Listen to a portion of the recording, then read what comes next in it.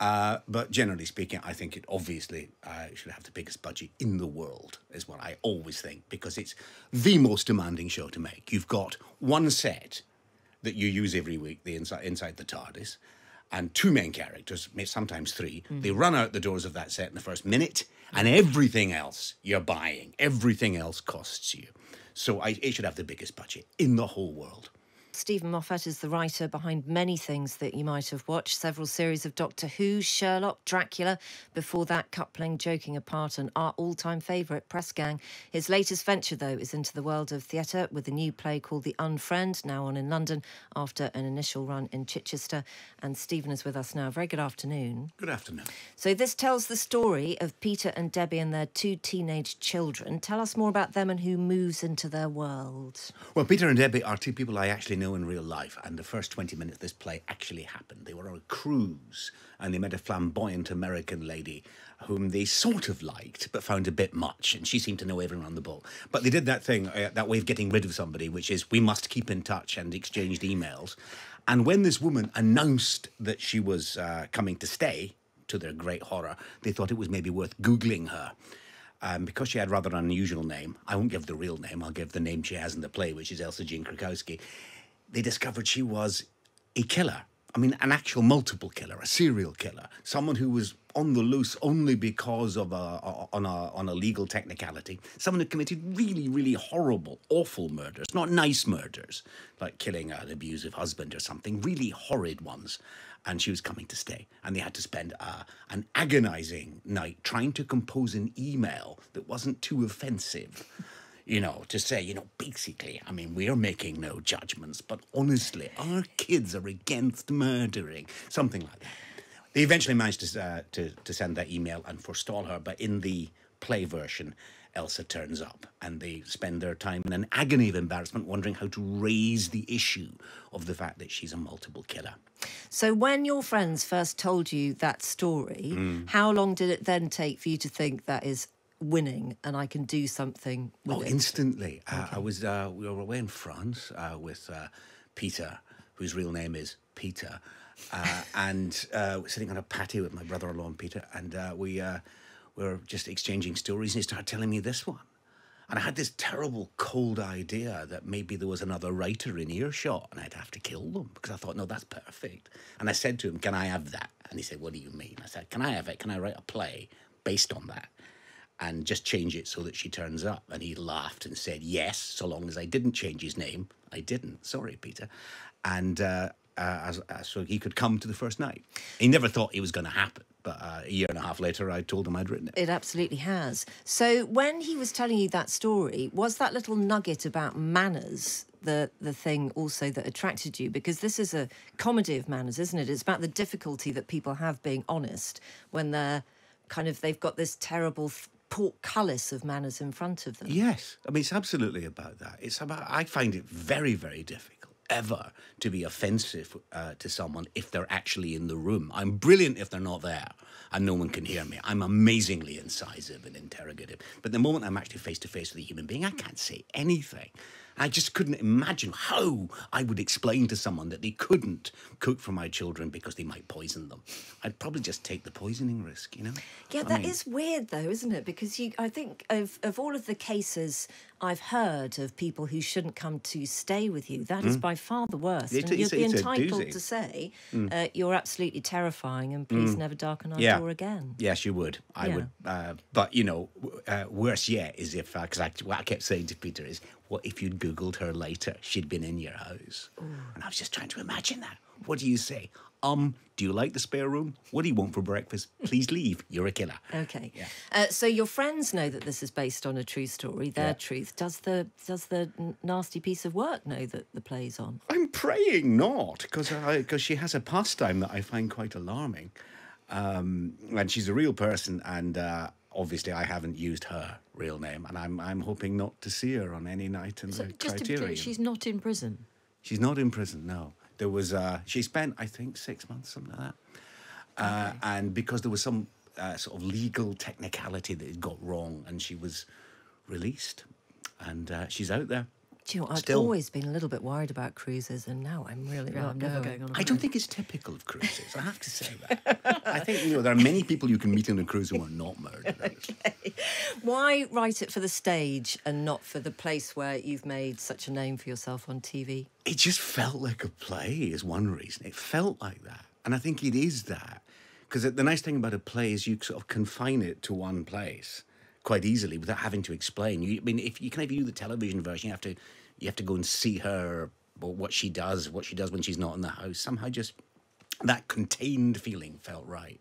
Also, I'd been sort of desperate to to do a play because I had spent 33 years or something doing exactly the same thing all the time. So it was, And can you sneak into the theatre and watch performances and you know feel confident about it? Do you get affected by maybe you're sitting you know next to the one person who doesn't laugh in Oh, the I've, I've been in it quite a lot. Yeah. I've been, and yeah, that is that is a hazard.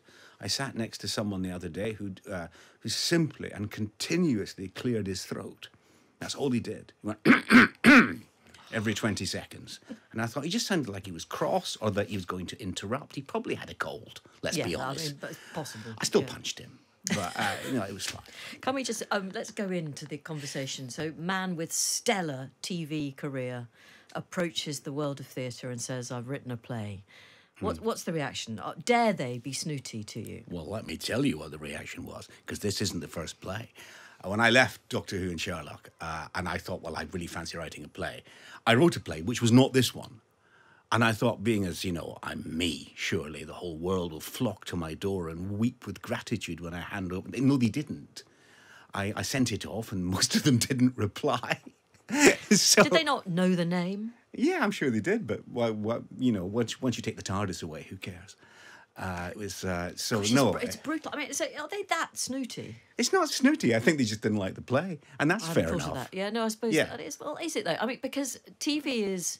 I, I'm just amazed that there's the possibility even that people in theatre might look down on wildly I don't think they looked down on me. I think they didn't want to put that play on. I mean, that's. Uh, I think there's a sort of uh, illusion that you get to a sort of level in the industry where people just say, "Well, he's famous, so we better spend millions on him." That doesn't happen. That never happens. I've got loads of stuff that's been turned down.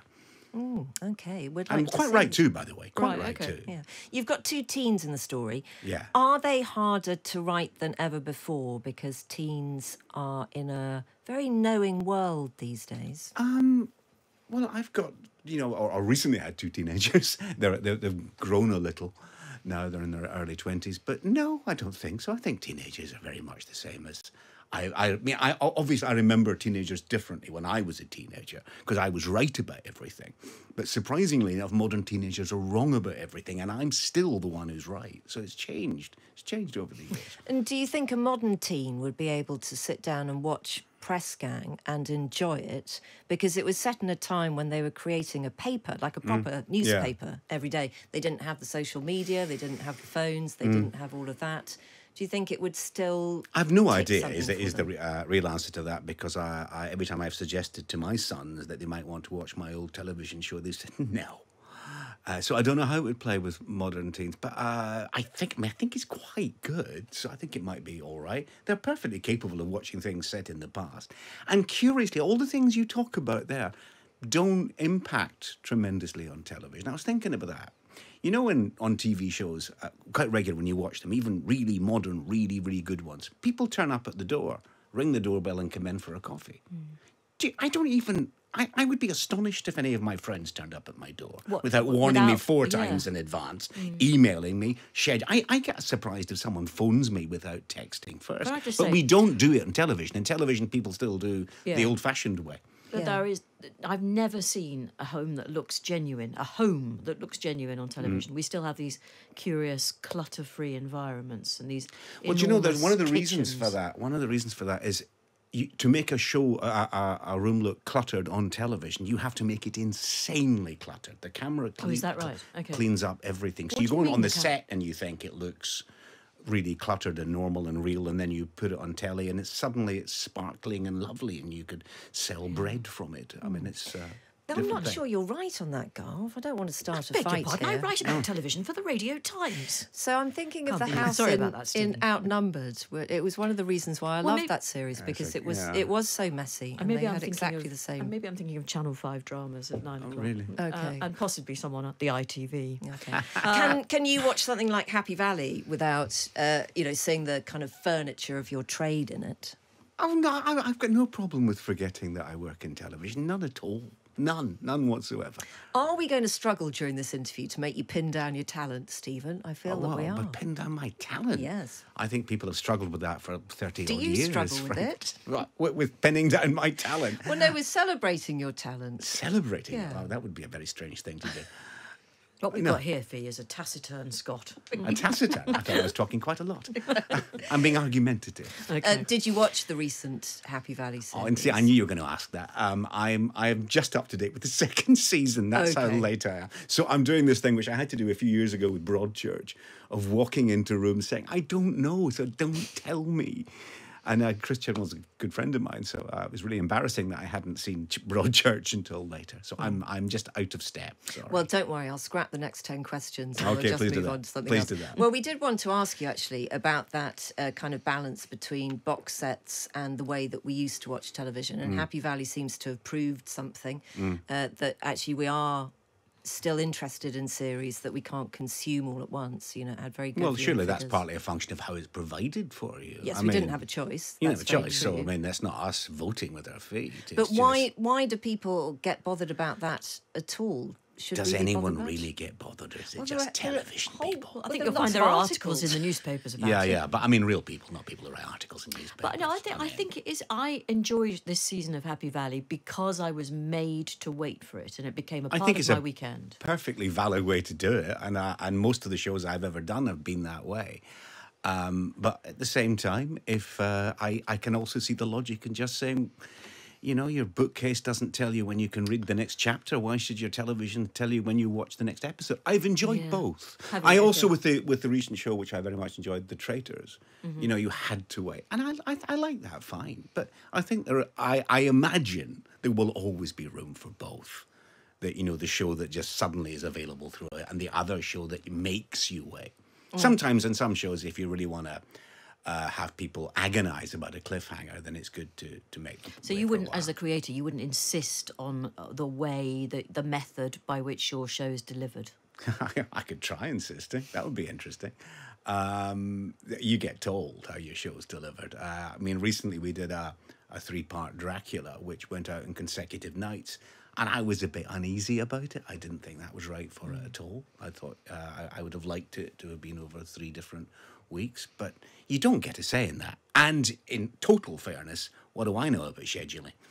So So, what's included in the term showrunner, which is what you've been described as? Um, well, what the real job title is, and kind of, you know, within, you know, contractually and in the credits, you'll notice there is no role showrunner. But what it generally speaking means uh, is the uh, the exec uh, is executive producer and lead writer, or sometimes executive producer and solo writer of the show. So the the one of the executive producers who also writes it. It's it's probably sort of total editorial control. It's control of the fiction of it. Right. If it didn't really happen, I gave the order. So, it is king of the heap. King of the heap in a way. Tell that to my wife. Tell that to my uh, all the people I work with would be astonished to know that I was king of the heap. He's still not going to take it, is he? We haven't got onto Harry Secombe yet. Fee, No, don't we, we'll get it. him on that. Moffat is our guest this afternoon. We were talking about his new play, The Unfriend, which is on in London. It premiered down in Chichester. We will talk about lots of other things that you've done. We've got a lot to pack in, in that case, into the last seven minutes of the programme. Uh, Steven, you've lent into your own life a lot for your work. Mm. So, Press Gang as a student, Chalk, your time as a teacher, joking apart about the breakup of your first marriage, mm. coupling about falling in love again. Yeah. What would the drama of a super successful man of your age now be about and look like? Or just a man on a sofa eating, I think, wouldn't it? I mean, it'd probably be something like that. I don't think I don't think there's been a show about a showrunner.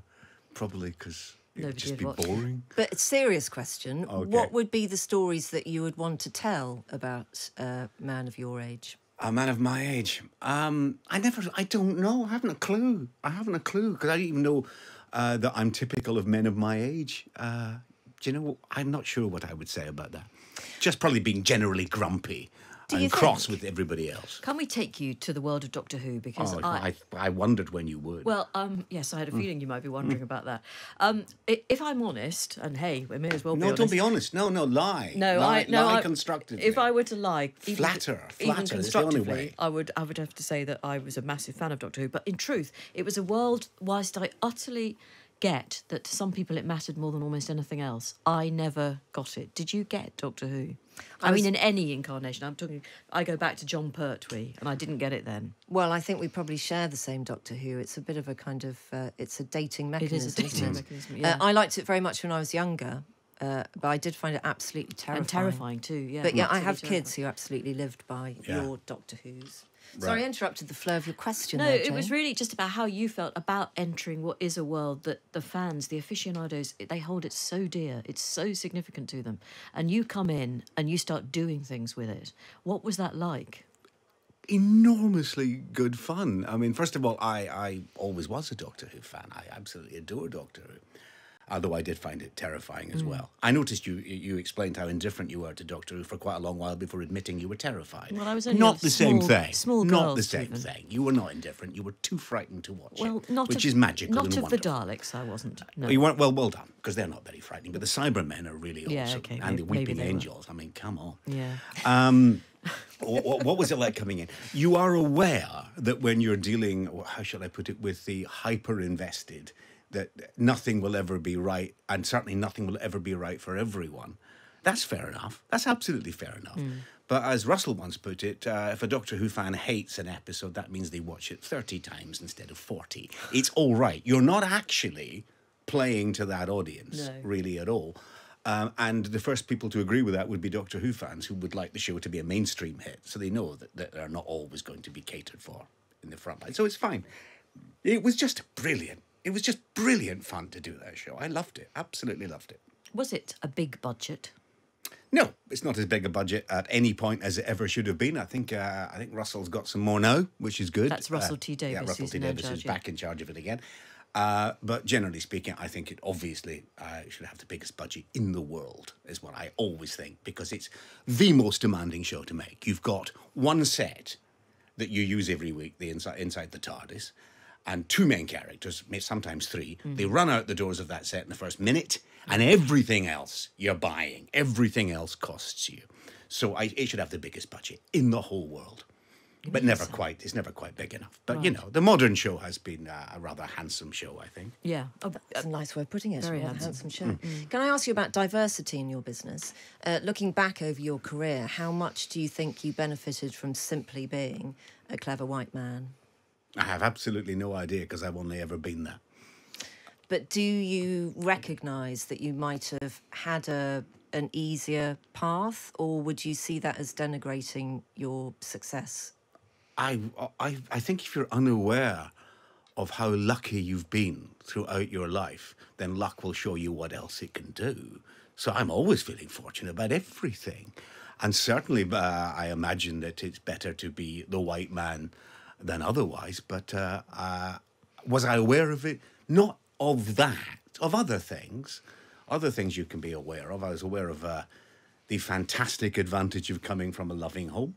I mean that's an amazing advantage, uh, and having a decent education and all that. But uh, I wasn't, uh, I wasn't aware of uh, of the the diversity thing. No, Uh, do you? That does, doesn't mean it's not there. Obviously, no, it no. is. I just mean if you're and do you feel, because obviously you know your industry much better than we do, do you think that people have woke, woken up to it enough now in the commissioning process, that enough arms are being extended? It feels as though every effort is being made. Yes, it. But you know, I that doesn't mean I'm right to say that. Um, you know, I've I've been around television for thirty odd years. I've never met anyone, and I've met people from a you know, contrary to what people say about television, there's a fair width of political viewpoint in it from uh, left to right. Um, I've never met anyone who didn't think diversity was a good idea. I've never met one single, I mean, not one single human being who didn't think that equal opportunity, that diversity, all, all these things were good, were, were something to work for. I never met anyone who was against it. Um, so if it's not happening, or if it's not happening fast enough, or it, if it doesn't work as well as you would wish it to, then maybe it's more complicated than we think it is. But I am no expert. We're all experts in our own little human way, and you're right to say all of that. Uh, just very briefly before you go, we've only got about 10 seconds left. Uh, if you have an evening on the sofa tonight, what do you watch? The Unfriend. uh, in the in the Criterion Theatre at seven thirty. Please come along. I'll be there with my wife. It's our twenty fifth wedding anniversary. Come and say hello. Beautifully done. Uh, Steven, thank you very much indeed for your time today. It's been really lovely to meet you. Pleasure.